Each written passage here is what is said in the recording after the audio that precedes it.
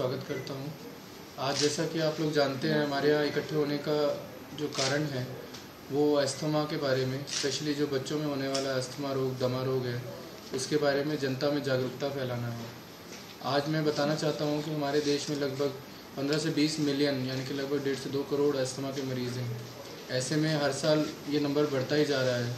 इसमें ज़रूरी हो जाता है कि हम ये जान पाएँ कि अस्थमा क्या है कैसे हम इसका रोकथाम कर सकते हैं, किस प्रकार से इससे होने वाली दिक्कतों से बचा जा सकता है। तो एस्थमा एक आनुवांशिक रोग है, एक जेनेटिक रोग है, जिसके अंदर शरीर में कुछ इस प्रकार की कमियाँ रहती हैं, जिसके कारण शरीर में एलर्जी का गुण बढ़ जाते हैं। जैसे ही एलर्जी के लिए हमें कोई एक एलर्जन मिलता है, जैसे धूल हो सकती है, मिट्टी हो सकती है, धुआँ हो सकता है पॉलन हो सकते हैं, इस प्रकार का यदि कोई एलर्जन अस्थमा के किसी पेशेंट के कांटेक्ट में आता है तो उस समय उसका शरीर एक गंभीर प्रकार से रिस्पांस देता है, जिसके अंदर सांस की दिक्कत आ सकती है। ऐसे में सांस के जो रास्ते हैं, वो काफ़ी जकड़ जाते हैं। उनमें सांस आना जाने में कमी होने लगती है। धीरे धीरे अगर ये दिक्कत बढ़ती है तो सांस में सीटी जैसी आवाज़ आ सकती है। तथा अगर बहुत बढ़ जाती है तो सांस लेने में बहुत ज़्यादा तकलीफ़, जकड़न या बहुत ज़्यादा दिक्कत हो जाए तो सांस घुट भी सकता है, जिसकी वजह से ऑक्सीजन की शरीर में कमी हो सकती है।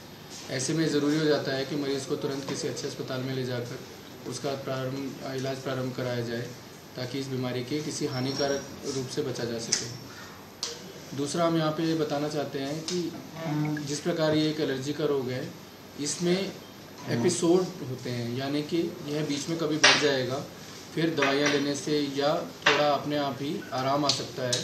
परंतु इस तरह से धीरे धीरे ये बीमारी कभी ज़्यादा बढ़ जाएगी, कभी घट जाएगी बेसिकली एपिसोड्स की फॉर्म में होता है। तो ऐसे में ज़रूरी हो जाता है समझना कि कभी भी अगर लगातार खांसी हो रही है, ठीक नहीं हो रही है, या किसी को सांस लेने में बहुत ज़्यादा तकलीफ़ हो रही है, छाती में जकड़न जैसा महसूस हो रहा है, बच्चा तेज़ सांस ले रहा है, छाती में खिंचाव महसूस कर रहा है तो तुरंत किसी अच्छे डॉक्टर को दिखाकर इसके बारे में सलाह करें। और यदि इसमें अस्थमा के जैसे लक्षण हैं तो उसका तुरंत प्रभाव से इलाज शुरू किया जाए। तीसरा इसमें सबसे ज़रूरी चीज़ होती है कि एस्थमा का जो इलाज है, इसमें दो तरह का इलाज होता है। एक बोलते हैं हम कंट्रोलर थेरेपी एक बोलते हैं रिलीवर थेरेपी सो जो रिलीवर थेरेपी होती है, वो बेसिकली किसी भी जब सांस में जकड़न हो गई है, सांस में घुटन हो रही है, उस समय पे दी जाती है। जिसका प्रयोग मेनली इसलिए किया जाता है ताकि उस जकड़न से एक बार मरीज़ को आज़ाद कराया जा सके। जो कंट्रोलर थेरेपी होती है, ये बीमारी को जैसा कि नाम से लगता है कंट्रोल करती है। ये धीरे धीरे बीमारी को जड़ से ख़त्म करने की कोशिश करती है जिससे कि बार बार ये एपिसोड्स ना हो बार बार सांस में जकड़न ना हो और मरीज़ को इस तरह के बार बार होने वाले अटैक से बचाया जा सके। दूसरा इसमें जैसे लोग जानते हैं कि एक नेबुलाइजेशन थेरेपी होती है। सो so, नेबुलाइजेशन में बेसिकली हवा के दबाव से दवाई को छोटे छोटे कण की फॉर्म में सांस तक पहुँचाया जाता है। इस प्रकार से मरीज़ को जब वो दवाई सांस के रास्ते पहुँच जाती है तो उसके सांस में आराम आ सकता है। परंतु लोग ये भूल जाते हैं कि नेबुलाइजेशन थेरेपी एक जिसको कहते हैं परमानेंट इलाज नहीं है। अगर आप नेबुलाइजर थेरेपी का एक दिन, दो दिन एमरजेंसी के लिए इस्तेमाल करते हैं डॉक्टर आपका एमरजेंसी में इस्तेमाल करता है, तब तो ये ठीक है। परंतु यदि मरीज़ को बार बार इस तरह के अटैक हो रहे हैं और हर बार नेबुलाइजर थेरेपी को तीन से पाँच दिन, सात दिन तक लेना पड़ता है तो ये इसका परमानेंट समाधान नहीं है। ऐसे में मरीज़ को ज़रूरत हो जाती है इनहेलेशनल स्टेरॉइड्स की। जिसे हम बोलते हैं सांस के रास्ते स्टेरॉइड्स देना। तो आमतौर पे जो स्टेरॉइड्स के बारे में लोगों की अवधारणा है कि उन्हें लगता है कि स्टेरॉइड्स वो है जिससे कि बॉडी बिल्डिंग में इस्तेमाल किया जाता है या शरीर को और मोटा बनाने के लिए इसका इस्तेमाल किया जाता है मसल्स बढ़ाने के लिए या शारीरिक क्षमता बढ़ाने के लिए इसका इस्तेमाल किया जाता है। परंतु ये स्टेरॉइड्स उस तरह के स्टेरॉइड्स नहीं है। इसमें आमतौर पर यूज़ जो किया जाता है वो एलर्जी को कंट्रोल करने के लिए किया जाता है, इसीलिए इन्हें कंट्रोलर भी बोलते हैं। इसमें यदि इन स्टेरॉइड्स को इंजेक्शन की फॉर्म में या गोली या सिरप की फॉर्म में लिया जाए तो इसकी दवाई का डोज लगभग 20 से 50 गुना तक ज़्यादा होती है। ऐसे में शरीर में जाएगी, खून में मिलेगी और उसके बाद पूरे शरीर में फैलेगी।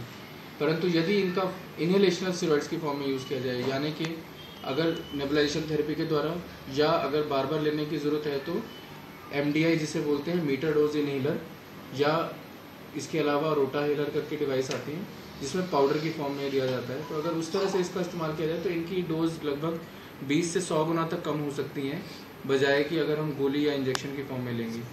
तो इसीलिए ये जो अवधारणा है कि स्टेरॉयड लेने से साइड इफ़ेक्ट हो जाते हैं और इससे नुकसान हो सकता है। आमतौर पे यदि एक डॉक्टर की निगरानी में इन्हें लिया जाए इनहेलेशन की फॉर्म में लिया जाए, जिसमें डोज 20 से 100 गुना तक भी कम है तो इन दवाइयों का साइड इफ़ेक्ट लगभग ना बराबर है। और इसके मुकाबले में जो बच्चे को आराम मिलेगा और जो उसके सांस में आराम होगा, जिसके कारण बच्चा बाहर जा पाएगा, खेल पाएगा, अपनी नॉर्मल ज़िंदगी जी पाएगा, उससे जो होने वाला फ़ायदा है वो इसके मुकाबले में हज़ारों गुना ज़्यादा है। तो ऐसे में हमें समझना होगा कि ये जो हमारे मन में अवधारणा है साइड इफ़ेक्ट्स के बारे में, उसे हम थोड़ा पीछे रखें और बच्चे को होने वाले फ़ायदों के बारे में सोचें और डॉक्टर से सलाह करें। कृपया ध्यान दें, ये बातें हमेशा अपने डॉक्टर की सलाह से शुरू करें, उसी के हिसाब से कंट्रोल करें। ऐसे में दवाइयों की डोज कम ज़्यादा करनी पड़ती है, कितना समय देनी है, उसको कितनी बार घटाना है या बढ़ाना है, ऐसे में कोई एक ऐसा चिकित्सक जिसे इस बारे में समझ है, वही आपकी अच्छी मदद कर पाएगा। तो डरे नहीं, सामने आए, अपने डॉक्टर से बात करें, यदि मन में कोई सवाल है तो उससे डिस्कस करें, ताकि वो आपको सही सलाह दे सके, और उसके हिसाब से फिर बात करके अपनी शंकाओं को दूर करके इस इलाज को शुरू करें।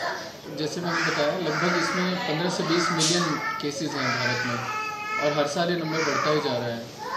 शहरों में भी, गाँव में भी हर जगह इस बीमारी के मरीज़ मिलते हैं।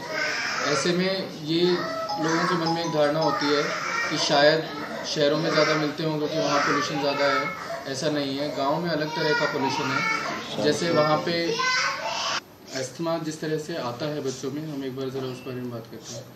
तो आमतौर पे घर में अगर यदि आपके कोई बच्चा हो जिसको लगातार खांसी हो रही हो, सांस लेने में तकलीफ़ बता रहा हो, या घुटन महसूस हो रही हो स्पेशली जब रात के समय या अर्ली मॉर्निंग बोलते हैं तो सुबह चार पाँच बजे बच्चा सडनली एकदम सांस की तकलीफ़ बताने लगता है, लगातार खांसी उठने लगती है तो हो सकता है ये दमे के लक्षण हो। यदि घर में किसी को लगातार छींकें आती हैं, किसी प्रकार की कोई एलर्जी है, या किसी और को सांस की कोई तकलीफ़ है स्पेशली माँ बाप में या सगे भाई बहनों में तो अस्थमा होने का चांसेस थोड़ा बढ़ जाता है। तो ऐसे में यदि आपके घर में किसी भी बच्चे को या बड़े को भी अगर इस तरह के कोई भी लक्षण हो तो कृपया अपने चिकित्सक से जल्द से जल्द मिलें और उनसे डिस्कस करें कि क्या यह अस्थमा हो सकता है। क्योंकि यदि अस्थमा हो तो इसका इलाज संभव है। हम यहाँ से जनता में यही अपील करना चाहते हैं कि अस्थमा एक लाइलाज बीमारी नहीं है।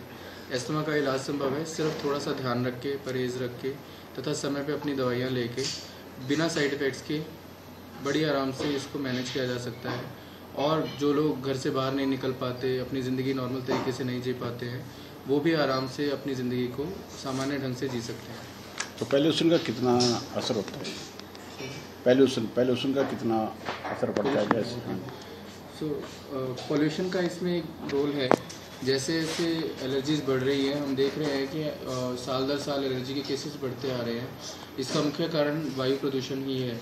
वायु प्रदूषण दो तरह से है। एक जो शहरों में हमें मिल रहा है, जैसे सड़कें हैं, गाड़ियाँ हैं कंस्ट्रक्शन हो रही हैं, तथा वहाँ पे इंडस्ट्रीज़ हैं फैक्ट्रीज़ का धुआँ है तो उस प्रकार से होने वाला पोल्यूशन है। दूसरा हमारे घरों में होने वाला पोल्यूशन है, जिसे हम इंडोर पोल्यूशन भी बोलते हैं। आमतौर पे हम बाहर के पोल्यूशन के लिए तो सब लोग जागरूक हैं। हम ये भी कहते हैं कि खेतों में पराली नहीं जलाएँ, घरों के आसपास कूड़ा नहीं जलाएँ, शहरों में होने वाले इंडस्ट्रियलाइजेशन डीजल गाड़ियों को उनकी लाइफ कम करने की बात हो रही है या बंद करने की भी बात हो रही है। परंतु हम इंडोर पोल्यूशन को भूल जाते हैं। इंडोर पोल्यूशन भी अस्थमा को बढ़ाने में एक इंपॉर्टेंट कारक है। जैसे कि हमारे घरों में लकड़ी, कोयला, गोसा, इस तरह की चीज़ें जलाई जाती हैं। इससे भी धुआँ होता है, जिसके कारण बच्चों को सांस की तकलीफ़ें बढ़ रही हैं, बड़ों में भी बढ़ रही हैं।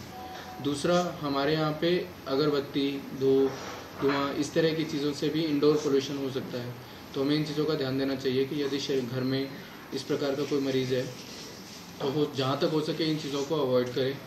तीसरा रहता है फिर साफ़ सफ़ाई पॉलन्स और डस्ट माइट जो हमारे घर में कारपेट्स हैं, पर्दे हैं, उनकी रेगुलर सफ़ाई करते रहना बहुत ज़रूरी है। घर में यदि हमारे कोई पेट्स हैं, कुत्ता, बिल्ली, इस प्रकार का कोई जानवर है अगर घर में तो उनकी साफ़ सफ़ाई तथा उनसे होने वाले जो एलर्जेंस हैं, उनसे भी हमें थोड़ा उन बच्चों को बचा के रखना चाहिए। ये ज़रूरी नहीं है कि हर घर में यदि पेट है या इस तरह की कोई चीज़ होती है तो उससे उसको दमा होगा। क्योंकि अगर बच्चे में एलर्जी के लक्षण हैं, जो कि जन्म से ही उसे मिलते हैं तो ही उन बच्चों को दिक्कत होगी। तो यहाँ पे ये समझना ज़रूरी है कि हर घर जिसमें पेट है या अगर कोई इंडोर पोल्यूशन का कारक है तो उस घर में ज़रूरी नहीं है कि सांस के मरीज़ बन जाएँगे। लेकिन यदि उसके बच्चे को इस प्रकार के एलर्जी के गुण हैं, या उस घर में किसी बड़े को भी हैं तो ये पोल्यूशन उन गुणों को बाहर निकाल देगा, जिसके कारण उनको ये सांस की दिक्कतें बढ़ जाएँगी छींटियाँ आनी शुरू हो सकती हैं, सांस में जकड़न हो सकती है। तो इंडोर पोल्यूशन उन लोगों को ज़्यादा तकलीफ़ देता है तो उन्हें ज़्यादा ध्यान रखना चाहिए। जेनेटिक्स का एस्थमा में बहुत इंपॉर्टेंट रोल है। इनफैक्ट किसी भी प्रकार की एलर्जी में जेनेटिक्स या आनुवांशिक गुणों का बहुत इंपॉर्टेंट रोल है।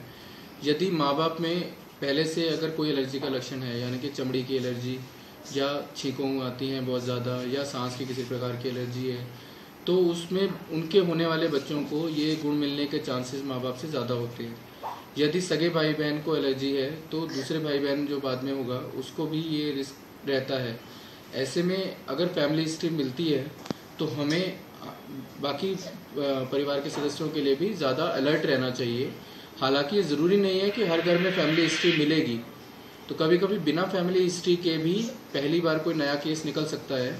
लेकिन अगर ये फैमिली हिस्ट्री है तो ये रिस्क ज़्यादा है। अच्छा सवाल है, आमतौर पे जनता को ये समझना होगा कि एस्थमा का इलाज कोई बहुत महँगा इलाज नहीं है। आमतौर पे एस्थमा के अंदर जो इनहेलर्स इस्तेमाल किए जाते हैं, उसकी एक डोज की कीमत लगभग अंदाज़ा दो से तीन रुपये पड़ती है। तो एक डोज की कीमत अगर इतनी है, पूरे दिन में अगर हम दो या तीन बार भी लेंगे तो मुश्किल से एक दिन का खर्चा पाँच से छः रुपये पड़ता है। तो ये कोई महँगा इलाज नहीं है, जिसके लिए हमें किसी के ऊपर डिपेंडेंट होना पड़े। परंतु फिर भी सरकार की ओर से सरकारी अस्पतालों में इसकी दवाई मुफ़्त मिलती है। तो इसके लिए कोई उनको बोझ समझने की ज़रूरत नहीं है। यदि इसमें ज़्यादा ज़रूरी है मरीज़ का फॉलोअप पे रेगुलरली आना, समय से अपने बच्चे को दिखाते रहना, बच्चा ठीक है तो भी दिखाते रहना, ताकि उस हिसाब से हम डोज को घटाया बढ़ा सके और डॉक्टर से रेगुलर एक टच में रहना, वो ज़्यादा ज़रूरी है। खर्चा बहुत बड़ी चीज़ नहीं है अस्थमा के इलाज में। खर्चा तब बड़ा हो जाता है बल्कि जब अटैक बन जाता है सीरियस हो जाता है, समय पे मैनेज नहीं होता। यदि समय पे इलाज हो जाए तो ऐसे अटैक बनने ही कम हो जाएँगे। तो वो ज़्यादा सस्ता पड़ता है। इन इंस्ट्रूमेंट से सर हमारा परिचय हो सकता है। होती हैं एक कैनिस्टर होता है। इस कैनिस्टर के अंदर हाई प्रेशर पे डोजेज होती हैं। इसमें एक डोज काउंटर होता है जिससे हमें अंदाज़ा हो जाता है कि लगभग कितनी डोज बाकी हैं। तो शुरुआत में लग दो से शुरू होता है। धीरे धीरे घटता जाता है नंबर जिससे हमें पता लग जाता है कि अब लगभग इतनी डोज बाकी है।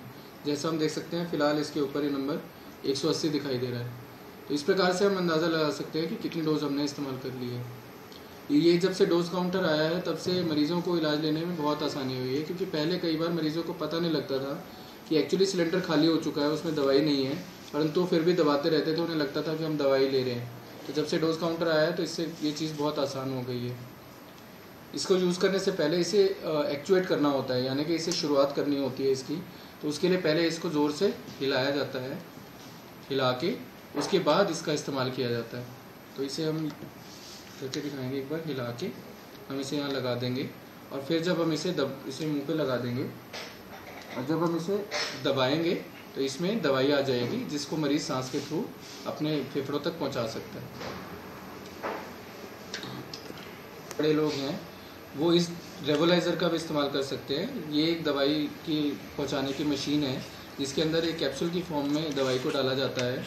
और जब इसे हम प्रेस करते हैं तो इसमें वो कैप्सूल पंचर हो जाता है। उसके बाद जब इसमें मरीज़ ज़ोर से सांस खींचता है अंदर तो सारा पाउडर सांस के रास्ते फेफड़ों तक पहुँच जाता है।